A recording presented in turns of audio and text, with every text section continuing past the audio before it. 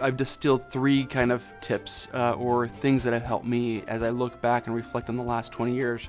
Um, first and foremost is that I think that the more obsessed you can be about your idea, your product, or whatever it is you're taking to market, the better off and the higher level of success you're going to have. And what I mean obsessed is that you, you really literally are, you can't sleep at night, you wake up in the middle of the night, you're thinking about this thing, you wake up in the first thing in the morning, as you're eating your bowl cereal, you're thinking about, okay, how can I make this better? What can I bring to market?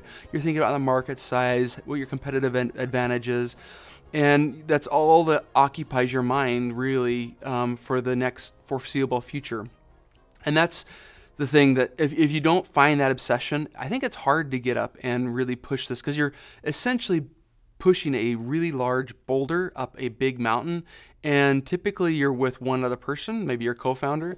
And it's really hard because you've got all, you know, investors saying that is a bad idea. You've got your, you know, sometimes your friends saying you're crazy.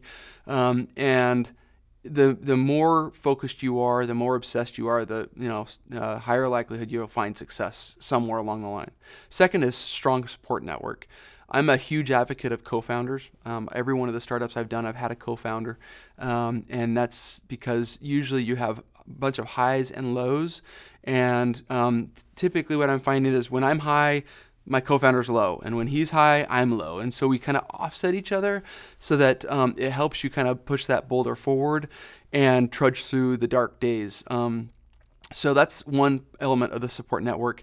Uh, if you have a spouse uh, or a married um, you want to have make sure that you have her support or his support uh, because uh, again you know you, you come home and sometimes it's very depressing and it's it's good to have someone that can pick you up if uh, you're looking at a dark day.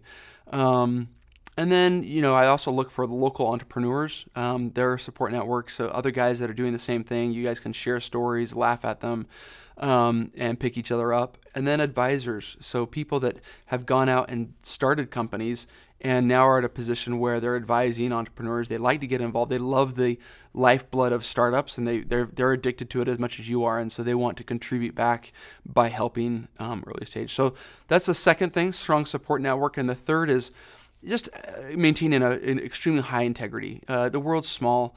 Um, if you're treating people, whether it's your investors, your co-founders, your um, your employees, or people you you know in, interact with horribly, it's going to come around and, and it's going to be, whether it's now or later on, it's going to come out and bite you. Um, I've seen, um, you know, I've seen all walks of different, I've, I've seen a lot of different personalities and, and I found that, you know, what comes around goes around, treat people kindly and like you like would like to be treated.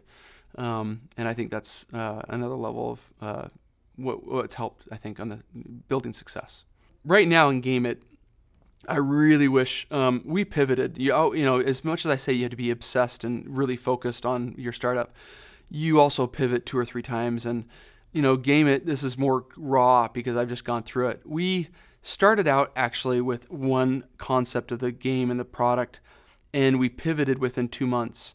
And we went towards a different because I thought it was bigger, a bigger opportunity, a bigger pain to solve.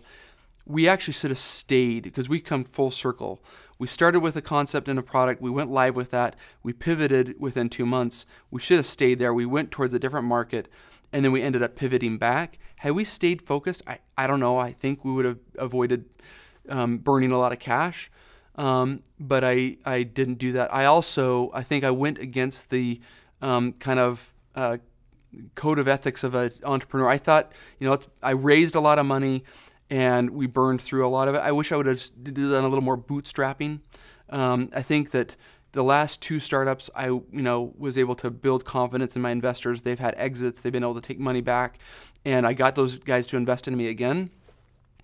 I think too quickly. I think I, I should have um, waited, done a little more proof um, in the you know uh, proof proving it out, um, and I think I would have saved some some hardship. But you know hindsight's 50-50. Don't lose sight of what's most important in life. Um, you know, building a startup, you know, money is not the happiness. And I see so many families and people get destroyed by, they make, you know, hundreds of millions of dollars and then they self destruct. Um, you, Hollywood is a great example of this, where you see young stars rise and then they self they put the self destruct button. I see it more often than not with entrepreneurs. Um, it's just quieter; no one notices it, but they get a lot of money and then they destroy themselves. Um, I think that if you can keep focus of what's really most important, money is not the thing that brings the happiness. It's building a really cool, valuable thing that the world loves, and that's really rewarding. Um, it's uh, money is nice, and it certainly can alleviate pain, but it is not the source of the greatest happiness.